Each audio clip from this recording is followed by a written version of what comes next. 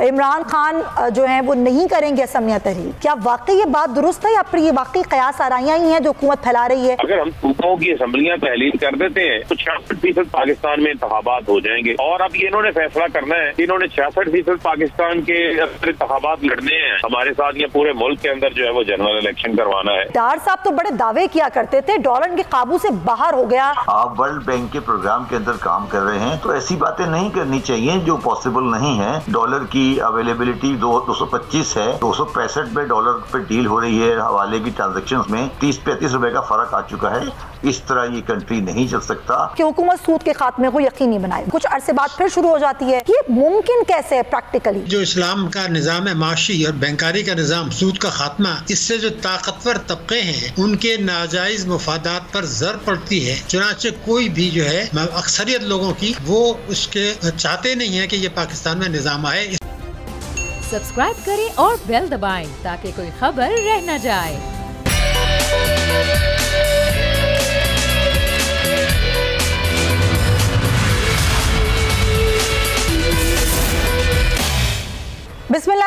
अस्सलाम वालेकुम प्रोग्राम में मैं सुमैया रिजवान आपको खुश आमदीद कहती हूँ। नाजरीन, पाकिस्तानी सियासत इस वक्त एक हिजानी कैफियत से दो चार है। इत्तेहादी हुकूमत ना सिर्फ़ हुकूमत करने में नाकाम दिखाई देती है, बल्कि मुल्क में सियासी इसकाम बरकरार रखने में भी नाकाम हो गई है। असम्बलियों की तहरीर कब होगी? गेम कप्तान के हाथ में है। शहबाज सरकार को हर दिन इमरान खान की जानब से मिलेगा एक नया सरप्राइज़। चेयरमैन पीटीआई असमियों की तहलील के मामले पर अब मजीद मुतहरक हो चुके हैं। पंजाब और के पी के असमियों की तहलील पर मुशावरत का सिलसिला शुरू हो चुका है। इमरान खान आज भी मुख्तलिफ़ पार्टी रहनुमाओं और अरकान असम्बली से मुलाकातें कर रहे हैं। पंजाब के हर डिवीज़न के अरकान असम्बली और असमियों की तहरील पर एतमाद में लिया जा रहा है। पंजाब और के पी असमियों की तहरील के बाद हुकूमत के पास अब कोई जवाब बाकी नहीं रहेगा कि वह वफाक में हुकूमत से चिमटी रहे। आम इंतबात नागूजीर हो जाएँगे और जैसे ही आम इंतबात हुए पी डी एम की तेरह जमातों की सियासत का खात्मा हो जाएगा। इमरान खान के ऐलान के बाद कि इसी महीने असमियाँ तहरील हो जाएँगी। कुछ पी डी एम हुकूमत के तर्जुमान जो सहाफ़ियों की जानब से ये तासर दिया जा रहा है, वो एक्चुअली सहाफ़ी नहीं है, वो पी डी के ही नुमाइंदे हैं। कि ऐसे में पंजाब के वजी अला परवेज़ इलाही तरीके इंसाफ का साथ नहीं देंगे? परवेज़ इलाही ने तमाम अफवाहों, कयास आरइयों और मफरूज़ों का खात्मा कर दिया है। और एलानिया ये बता दिया है कि पंजाब हुकूमत इमरान खान की अमानत है और वो जब हुक्म करेंगे, असमिया तहरील करने में एक मिनट की भी ताखिर नहीं की जाएगी। मौजूदा हुकूमत ने जहाँ गुजशत छः माह में सिर्फ़ अपने केसेस ख़त्म कराने पर फोकस किया, वहीं मुल्की मीशत को भी बुरी तरह से तबाह किया। एक तरफ़ मुल्क दिवालिया होने के करीब है तो दूसरी तरफ़ मुल्क में पेट्रोल, बिजली, गैस सब आवाम की पहुँच से दूर हैं। उधर मुल्क की मीशत को जादुई तरीके से फौरी ठीक करने का दावा करने वाले इसाक डार न सिर्फ़ डॉलर को कंट्रोल करने में नाकाम रहे, बल्कि कोई भी मुल्क मौजूदा हुकूमत पर एतबार करने के लिए अब तैयार नहीं। अब देखना यह होगा नाजरीन कि सारी सूरत हाल में हुकूमत कब तक? 27 किलोमीटर की हुकूमत से ज़बरदस्ती चिमटी रहेगी और मुल्क को मजीद मसाइल के दलदल में धकेलती रहेगी। इसी पर हम बात करेंगे। हमारे मेहमान हमें ज्वाइन कर चुके हैं। अमीर अब्बास हमारे साथ हैं सीनियर एंकर पर्सन है रजियाकार हैं, उनको हम वेलकम करते हैं। अमीर, बहुत शुक्रिया आपके वक्त का। और पाकिस्तान तहरीक इंसाफ के रहनुमा फ़ारूक हबीब साहब भी हमें ज्वाइन कर रहे हैं। सबसे पहले मैं फ़ारूक साहब आपसे गुफ्तु आगाज़ करना चाहूँगी। सबसे पहले तो सबसे पहले तो बहुत शुक्रिया। ये जो कयास आरइयाँ हैं, बातें हैं कि जी नहीं हो रही हैं असमिया तहरीर इमरान खान जो हैं, वो नहीं करेंगे असमिया तहरीर क्या वाकई ये बात दुरुस्त है या फिर ये वाकई कयास आराइयाँ ही हैं जो हुकूमत फैला रही है कि हुकूमती तर्जुमान फैला रहे हैं? डॉलर के जब रजीम चेंज साजिश हुई कदम अतमाद हुआ, साढ़े सोलह अरब डॉलर के गैर मुल्की करेंसी के जखायर मौजूद थे, जो कि अब छह अरब डॉलर के ऊपर आ चुके हैं। मीशत इनसे चल नहीं पा रही गवर्नेंस इनसे हो नहीं पा रही। एन आर ओ ये लेते जा रहे हैं इनको हुकूमत चलाने का क्यों हक दिया जाए? अवाम जो है वो उकताए हुए हैं इनसे अवाम इनसे नजात चाहते हैं। यही वजह है कि लोगों की बड़ी तादाद इमरान खान साहब के साथ जो सात माह हमारी तहरीक चली है उसके अंदर हम्म। सड़कों के ऊपर लोग बाहर आते हैं। और हमने बहुत सोच समझ के एक आईनी सोल्यूशन दिया है। अगर हम सूबाओं की असम्बलियाँ तहलील कर देते हैं तो छियासठ फ़ीसद पाकिस्तान में इंतबात हो जाएँगे। और अब ये इन्होंने फैसला करना है कि इन्होंने छियासठ फ़ीसद पाकिस्तान के अंदर इंतबात लड़ने हैं। हमारे साथ ये पूरे मुल्क के अंदर जो है वो जनरल इलेक्शन करवाना है। अदरवाइज़ जो है मैं समझता हूँ कि ये एक जमहूरी और एक आईनी रास्ता है जो हमने इख्तियार किया है। और ये सिर्फ़ इस वजह से भाग रहे हैं इनको अपनी शिकस्त वाजे नज़र आ रही है। इनको ये लग रहा है कि ये मजीद जो है वो इमरान खान का अवामी मैदान के अंदर मुकाबला नहीं कर पाएँगे।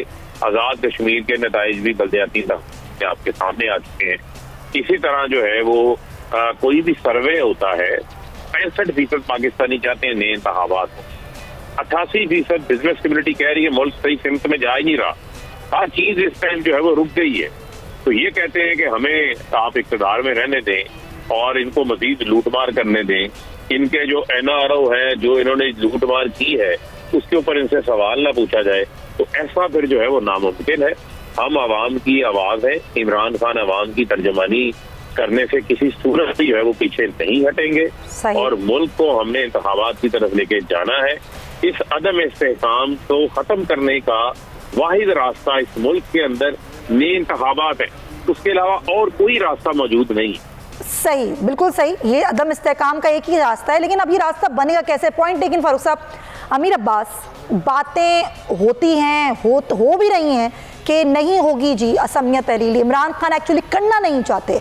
और वो स्टेटमेंट्स भी हैं उनके जिसमें वो मुजाकर की बात कर रहे हैं। क्या लगता है आपको? अगर टाइम गेन कर रहे हैं इमरान खान तो वाकई प्लान अपना सही करने के लिए या फिर मामला कुछ और लगते हैं तो मेरा मेरा ख्याल है कि इमरान खान साहब वक्फा इसलिए देना चाह रहे हैं। मुझे मालूम नहीं है लेकिन मैं अपना तजिया आपके सामने रख सकता हूँ। जितना इलेक्शन के करीब जाकर असम्बलियों तो, को तोड़ा जाए तो फेडरल गवर्नमेंट फिर मजबूर हो जाएगी री इलेक्शन अर्ली इलेक्शन की तरफ़ हम्म।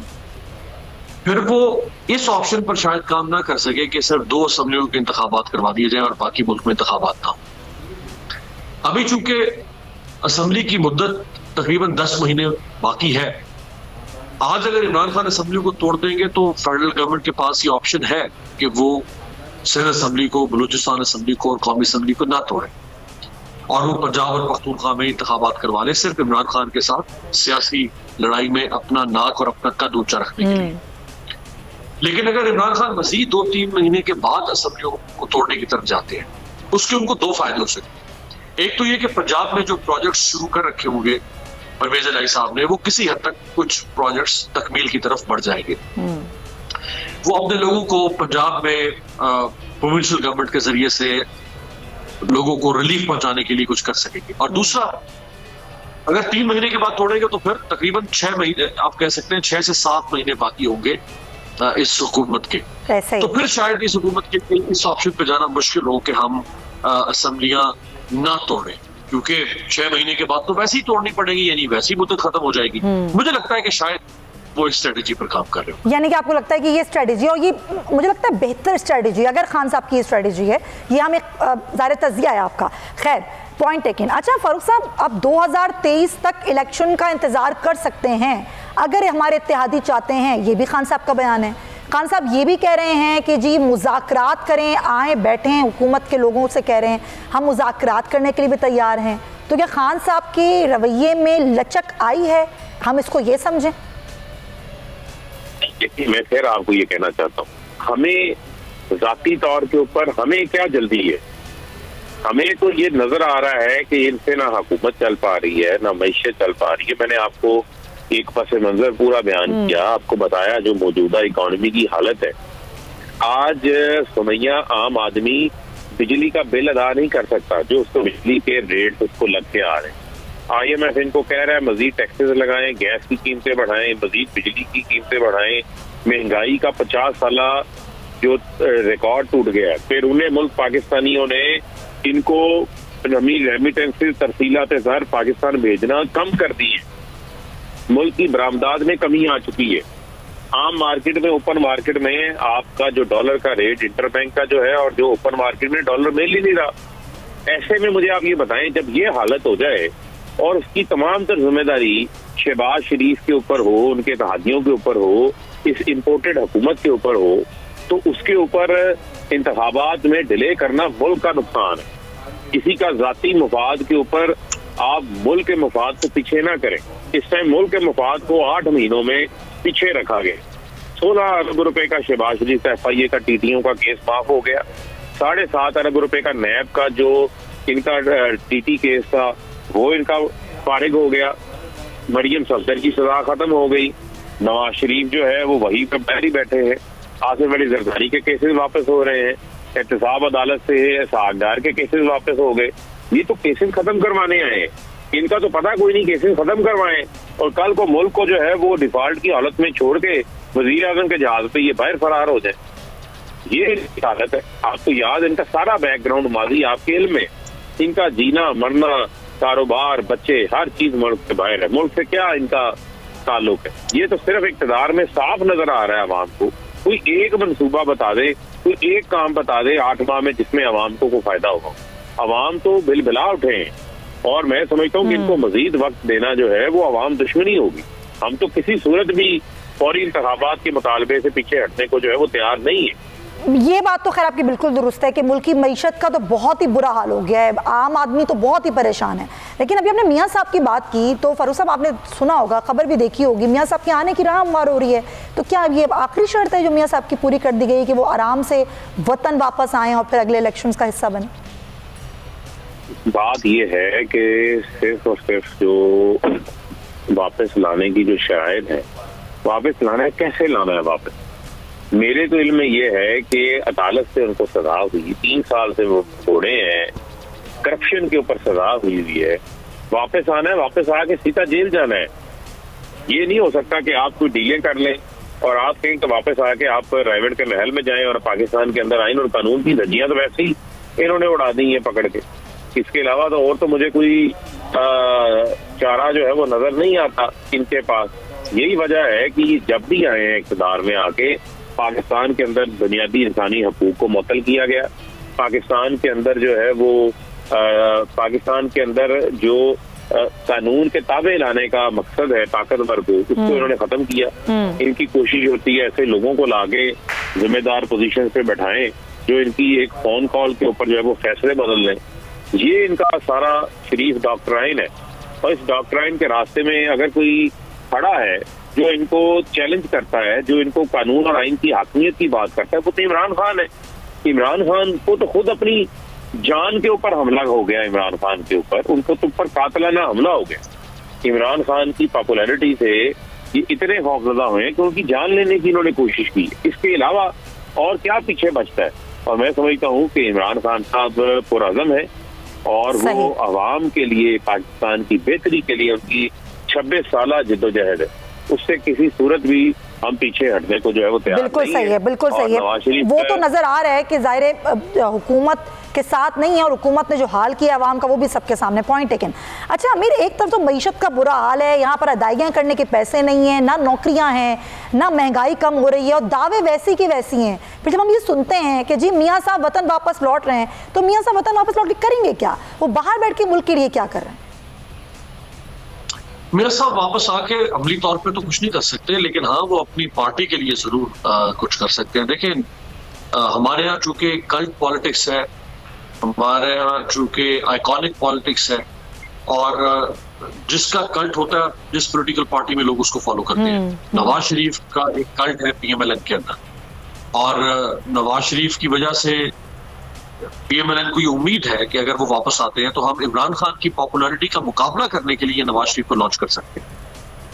अगर नवाज़ शरीफ इलेक्शन कैंपेन करेंगे अगर वो अगर वो सुमैया कैंपेन ना कर सके और वो सीधा अडयाला जेल भी गए तो भी मुस्लिम लीग नून के लिए वो बहुत ज़बरदस्त सिंपथेटिक फैक्टर के तौर पे या डिलीवर नहीं कर रही है हुकूमत फिर भी वो आके इस, इस अपनी जमात को बचा लेंगे। नहीं उन्होंने देखिए उन्होंने क्या करना है? उन्होंने डिलीवर तो ऑब्वियसली इतना वक्त नहीं है कि अब क्या डिलीवरी करनी है। जब ये बारह जमातें मिलकर कुछ डिलीवर नहीं कर पा रही है तो एक नवाज़ शरीफ ने आगे कौन सी डिलीवरी कर लेनी है? हम्म। आपके यहाँ जो पॉलिटिक्स है ना वो देखिए हर पोलिटिकल पार्टी का एक पावर क्लाउड है पब्लिक में। पीएमएलएन का भी एक पावर क्लाउड है। वो पीएमएलएन के पावर क्लाउड को इंटैक्ट रखने के लिए नवाज़ शरीफ को लॉन्च किया जाएगा। सही। पीएमएलएन के अंदर धड़ेबंदी को रोकने के लिए नवाज़ शरीफ को लॉन्च किया जाएगा। नवाज़ शरीफ इस इसको वोट बैंक में ट्रांसलेट करना चाहिए। आज उनका कुछ वोटर अगर नाराज़ है मायूस है बदजन है अगर वो इमरान की तरफ़ जा रहा है उसको रोकने के लिए उसको इंटैक्ट रखने के लिए नवाज़ शरीफ को लॉन्च किया जाए। ये है नवाज़ शरीफ के लाने का पर्पस वो डिलीवर नहीं कर डिलीवर तो कर ही नहीं सकते क्योंकि वो वैसे ही किसी अथॉरिटी में नहीं है। वो, वो पार्लियामेंट का हिस्सा तो नहीं है ना गवर्नमेंट का हिस्सा। वो सिर्फ़ और सिर्फ़ एक अपनी पार्टी के लिए एक फादरली फिगर के तौर पे कोई मशवरी दे सकते हैं ना। वो मशवरे वो बरतानिया से भी ज़रूर दे रहे हैं। बहुत सारे मामला में जैसे शबाज शरीफ बाहर जाते रहे उनके पास तो मशवरे करने के लिए जाते थे ना उनसे। फिर जो वज़ीर खजाना की तब्दीली हुई, वो भी वहीं पर लंदन में बैठकर हुई थी। यानी मिफ्ता इसमाइल भी वहीं पर थे, वहीं उनको बुलाया गया था। वहीं तय पाया था कि मिफ्ता इसमाइल की जगह पे आप इस साथदार और वही मिफ्ता इस्माइल ने कहा कि ये आपकी अमानत है, आप रख ले, मैं जा सो नवाज़ शरीफ, एक उनके पास डिसाइसिव रोल है मुस्लिम लीग नूर के अंदर। दूसरा, उनकी एक अपनी उनका अपना मैग्नेटिज्म है उनकी पार्टी के अंदर। तो आपको लगता है कि वो पार्टी पार्टी को एक आ, मतलब एक अच्छा वो करने के लिए वो आ सकते हैं। सही है। Right right right point taken अच्छा फारूक अभी साहब बस लास्टली आपसे भी मैं सवाल करना चाहूँगी कि वक्त की कमी है कि बिलावल साहब का आपने अभी ताज़ा बयान देखा जो कह रहे हैं कि अगर हम कब इंतबात की तरफ़ जाते हैं तो मुल्क तो मजीद तबाही की तरफ़ जाएगा। देखो पहले एक चीज़ तो अच्छा हुआ उन्होंने तस्लीम कर ली है। कि मुल्क को तबाही की तरफ़ वो ले गए हैं और उसके जिम्मेदार जो है वो यही इम्पोर्टेड हुकूमत और इसके तहत है। देखे पीपल्स पार्टी का क्या स्टेक है यहाँ पे? पंजाब में तो कोई स्टेक नहीं है पाकिस्तान का साठ फ़ीसद यहाँ पर जो है वो तो सिंध में हुकूमत कर रहे हैं और इंशाल्लाह वहाँ भी इस बार इमरान खान साहब जो है वो उनको टफ टाइम देने जा रहे हैं। अच्छा। सिंध में भी आप देखेंगे कि बड़ी तादाद में जो है वो तब्दीली आने वाली है। वहाँ भी लोग इनसे बताए हुए हैं। वहाँ भी इनकी तेरह साल से मुसलसल हुकूमत है और आवाम को ये डिलीवर नहीं कर सके। वहाँ भी आवाम को इन्होंने मायूस किया है।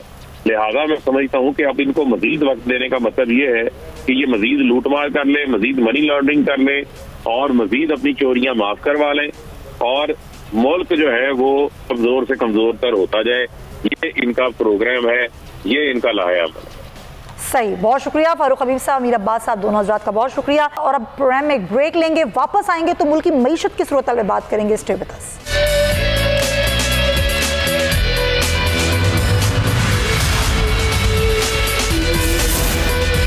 वेलकम बैक नाजरीन और मीशत का बुरा हाल है। डॉलर के माहिर डार डॉलर काबू करने में बुरी तरह नाकाम हो चुके हैं। इसाक डार को पाँच साल बाद जिलावतनी ख़त्म करके इस दावे के साथ मुआशी ड्राइविंग सीट पर बिठाया गया था कि वो आनंद फानन जादू की छड़ी घुमाएँगे और डॉलर को काबू में कर लेंगे। वज़ीर ख़जाना बनने के बाद इसाक डार ने बजाते खुद भी तीस अक्टूबर से पहले पहले डॉलर दो सौ रुपए से नीचे लाने का दावा किया, जो धरे का धरा रह गया। डॉलर नीचे आने के बजाय ऊँची उड़ान भरता रहा।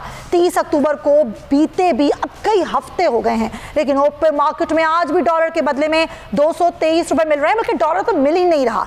नतीजे में तरसीलात जर में कमी दरपेश है। तजारती खसारा मुँह फाड़े खड़ा है। एक तरफ़ डॉलर बेकाबू है तो दूसरी तरफ़ इल्ज़ाम की पोछाड़। नया अहदा संभालने के बाद से सागडार का हदफ अपनी ही पार्टी के सबक वज़ीर खजाना मिफ्ता इस्माइल है। दोनों तरफ़ जोश व खरोश की जगह गुस्से ने ले ली है। दोनों ही मुल्की मीशत बहाल करने में अक्सर नाकाम रहे। इसीलिए मुआशी बदाली का मलबा एक दूसरे पर डाल रहे हैं और डॉलर की कीमत मुसलसल इजाफे से कर्जों के हजम में भी इजाफा हो रहा है। निजात का कोई रास्ता नज़र नहीं आ रहा। मौजूदा वज़ीर खजाना इस डर तक लंदन में थे तो दो जोशो खरोश से डॉलर की उड़ान और तेल की कीमतों को काबू में लाने की तरकीबें बताया करते थे। अब ना सिर्फ़ इसाक डॉलर दो सौ रुपए से नीचे लाने के बयान से पीछे हट गए हैं, बल्कि ये भी कहते हैं कि डॉलर का कंट्रोल स्टेट बैंक के पास है। अपने ही बयान की नफी करना, अपने ही दावों पर पूरा ना उतरना मौजूदा सरकार का वतीरा रहा है। अब तक डॉलर काबू में पाया लाया जा सका और ना ही अवाम को किसी किस्म का कोई रिलीफ मुहैया किया जाए इसी पर हम बात करेंगे। हमें ज्वाइन करें माहिर माशियात हैं शब्बर जैदी साहब, उनको हम वेलकम करते हैं। असलम शब्बर साहब कैसे हैं आप? जी बिल्कुल ठीक जी बिल्कुल ठीक ठाक हुक्म सर ये डार साहब तो बड़े दावे किया करते थे डॉलर के काबू से बाहर हो गया कोई पॉलिसी इनकी नज़र नहीं आती। क्या किया इन्होंने? देखिए आप दावे ज़रूर करते हो डॉक्टर साहब भी चार्टर्ड अकाउंटेंट हैं मैं भी एक चार्टर्ड अकाउंटेंट हूँ। और जो डॉलर की वैल्यू है वो रियल वैल्यू पे आएगी आप इसको आर्टिफिशियली मैनेज नहीं कर सकते। और आर्टिफिशियली मैनेज करने के जो तरीके हैं, वो आपके पास उनकी स्पेस नहीं है। आप वर्ल्ड बैंक के प्रोग्राम के अंदर काम कर रहे हैं तो ऐसी बातें नहीं करनी चाहिए जो पॉसिबल नहीं है। डॉलर की अवेलेबिलिटी दो दो सौ पच्चीस है और दो सौ पैंसठ में डॉलर पे डील हो रही है हवाले की ट्रांजेक्शन में तो तीस पैंतीस रुपए का फ़र्क आ चुका है। इस तरह ये कंट्री नहीं चल सकता। हम टेक्निकल डिफ़ॉल्ट में जा चुके हैं। मकसद ये है कि हमारे पास इस वक्त टेक्निकली एलसी खोलने की की रिस्ट्रिक्शंस लगी हुई हैं हम्म। लोगों को कोटे के तहत एलसी खोली जा रही हैं। हम्म। तो ये बात करने की नहीं है कोई काम करने की ज़रूरत है बातें बातें बहुत कर ली हमने हम कोई काम करें खुदा का वास्ता है। अच्छा आप जी सर आपने एक बात की शुरू में आपने कहा आर्टिफिशियली अब काबू नहीं किया जा सकता। जब डार साहब आए थे तो ये डॉलर जो नीचे गया था ये आर्टिफिशियली गया था।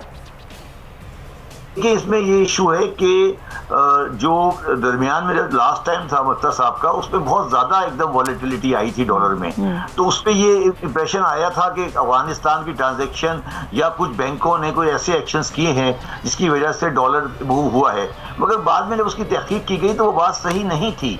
और मगर दूसरी बात मैं आपको बताता हूँ जो डार साहब का तरीका वारदात था वो 2013 से लेकर 2018 तक उन्होंने डॉलर को मेंटेन करके रखा था और उस मेंटेन करने के चक्कर में उन्होंने पाकिस्तान के छियासठ अरब रुपए जाय कर दिए।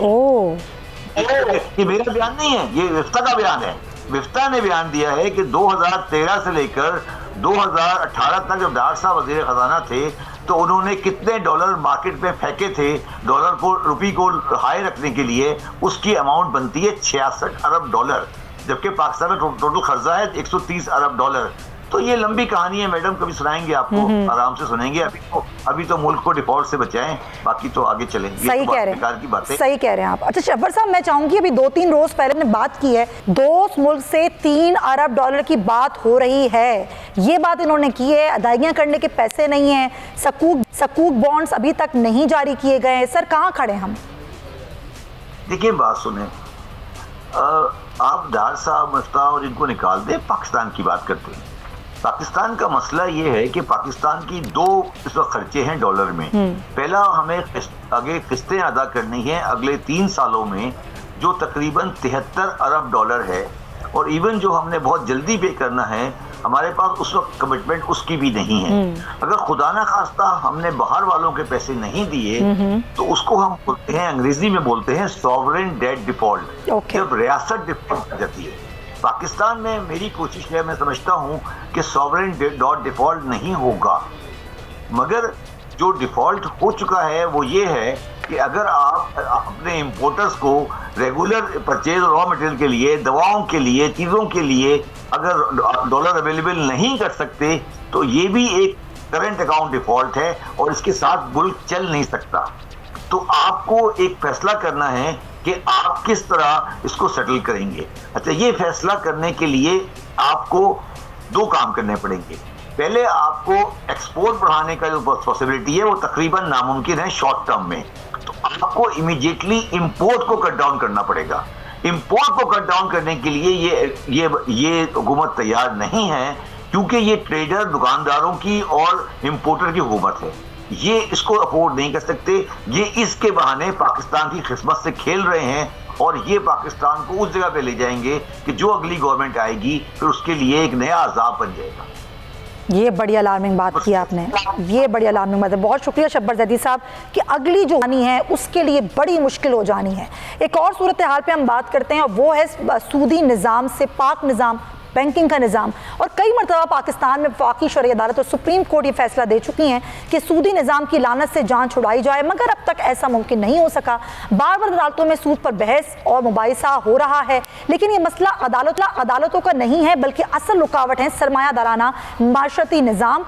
दीनी जमातें इस मसले को वक्ता फ़वक्ता उठाती रहती हैं, लेकिन नतीजा अब तक सिफर है। इस बार भी मुफ्ती तकी उस्मानी ने सूद के खात्मे से मुतल सेमिनार से खिताब किया और मुतालबा किया कि हुकूमत सूद के खात्मे को यकीनी बनाए। वैसे तो सूदी निज़ाम के खात्मे के लिए जद्दोजहद क्याम पाकिस्तान के बाद से ही शुरू हो गई थी। और सबसे पहले बानिया पाकिस्तान ने स्टेट बैंक का अफ्ताह करते हुए ये वाजे किया था कि वो पाकिस्तान के मुआशी निज़ाम को कुरान और सुन्नत की तालीमत पर इस्तेवाल करना चाहते हैं, मगर उनकी वफात हो गई और सारा प्रोग्राम पलट के रह गया। उसके बाद से हुकूमत पाकिस्तान को उन्नीस से दस्तूर पाकिस्तान ने भी पाबंद किया कि वो जल्द से जल्द दुनिया के गलीज तरीन सूदी निज़ाम से निजात दिलवाए, मगर ऐसा ना हो सका। अभी भी इसको घुमा फिरा के लटकाया हुआ है। अब ये होगा कैसे? बार बार वज़ीर ख़जाना इसाक डार ने अपने खिताब में भी ये कहा कि हुकूमत मुल्क सूदी निज़ाम के खात्मे के लिए पुरज़म है। लेकिन ये हो कैसे? इसी पर हम बात करेंगे क्योंकि इस काम के माहिर भी हैं। सूदी निज़ाम के मामला को सबसे ज़्यादा अच्छी तरह समझते भी हैं। माहिर माशियात भी हैं चेयरमैन है research institute of Islamic banking finance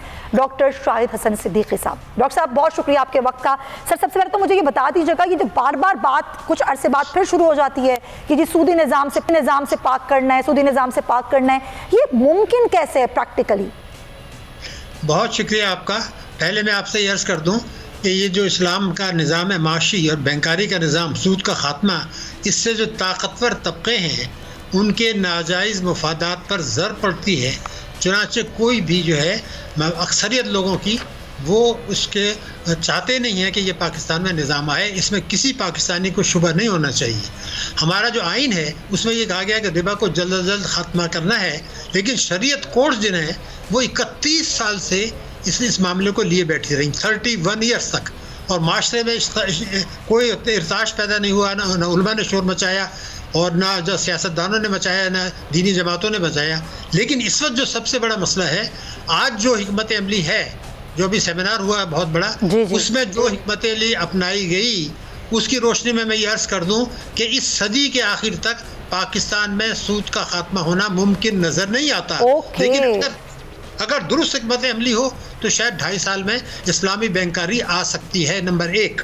अब मैं आपको ये बात बता दूँ कि ये जो शरीयत कोर्ट का फैसला है अभी हालिया जिसकी हिमायत कर रहे हैं फजल रहमान साहब डार साहब आलिम दीन मुफ्ती तकी उस्मानी मौलाना मोनी और बड़े बड़े उल्मा वो सब इसकी हिमायत कर रहे हैं। हालाँकि उनको पता है कि ये जो फैसला आया है इसमें गलतियाँ हैं इसके अंदर खराबियाँ हैं। इसके अंदर उन्होंने सुप्रीम कोर्ट के जो अहकाम थे इस मुकदमे के लिए उनको दानिस्ता नज़रअंदाज किया क्योंकि अच्छा। उनको फिर उसमें मेहनत करनी पड़ती और हम्म। सबसे बढ़कर सबसे बढ़कर इसमें जो इस्लामी बैंक हैं वो सूदी कारोबार कर रहे हैं शरीयत कोर्ट ने उनको कहा ये शरीयत के मुताबिक है तो अगर हमारी शरीयत कोर्ट ने सूद की बुनियाद पर जो इस्लामी बैंकारी का निज़ाम चल रहा है सूद के ख़िलाफ़ उसमें सूदी प्रोडक्ट्स को उन्होंने कहा कि ये शरीयत के मुताबिक हैं और ये जो अभी परसों तरसों ये सेमिनार हुआ है जी जी सर। उसमें ये करारदाद पास की गई कि इसकी हिमायत की जाए और इसकी मुखालफत करने वालों से निमटा जाए। नंबर एक मुफ्ती तकी उस्मानी साहब जो आपने नाम लिया बहुत ही बड़े आलिम दीन हैं। उन्होंने दो बातें कही वो मैं आपको बता दूँ। उन्होंने ये कहा कि इस्लामी बैंकारी जो है उसमें हमने शरीयत से कंप्रोमाइज़ किया है। यानी शरीयत से कम्प्रोमाइज समझौता किया है। सही बात। के लिए हुआ है कि मुनाफे के लिए। लेकिन असल चीज़ जो है मैं आपको बता दूँ कि जो रेजोल्यूशन पास हुआ है वो हम्म। पेश किया तकी उस्मानी साहब ने। हम्म। उसमें ये कहा गया है कि, इस, कि जो इस वक्त शरिया बोर्ड है शरिया अदालत है उस शरी अदालत में कोई आलिम दीन मौजूद नहीं है। ये उन्होंने कहा। और आइन पाकिस्तान में लिखा है कि शरी अदालत में आलिम दीन एक होना लाजमी है। लेकिन वो ये फरामोश कर गए कि जिस फैसले की वो हिमायत कर रहे हैं जिस जिसने उसको लिखा है वो वही है जो आज भी आलिम दीन है। तो, तो ये जो बात है ना आपने बड़ी अच्छी की है कि एक तरफ़ तो इस तरह की बात करते हैं दूसरी तरफ़ अपनी ही बयान की नफी करते हैं। बहुत शुक्रिया डॉक्टर शरीकी साहब thank you so much for your time program का वक्त खत्म होता है। अपना ख्याल रखिएगा। अल्लाह हाफिज़।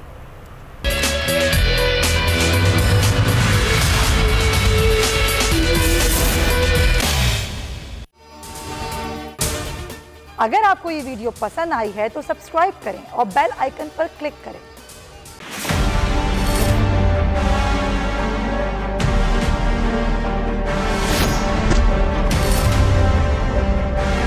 हमारा एक कारोबार नहीं है भाई।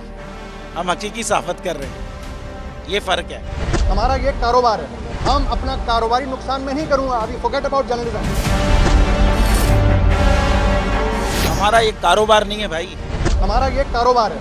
हम अपना कारोबारी नुकसान में नहीं करूँगा। हम हकीकी साफत कर रहे हैं। Forget about journalism forget about journalism हम हकीकी साफत कर रहे हैं। ये फ़र्क है।